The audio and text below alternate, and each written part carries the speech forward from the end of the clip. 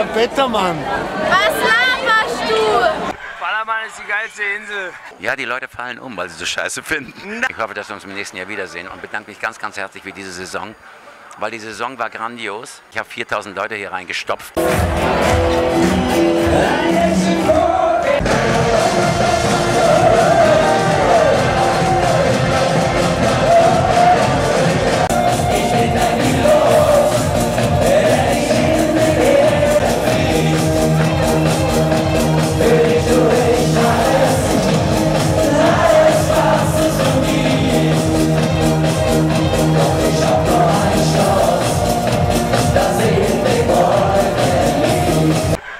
ist die geilste Insel.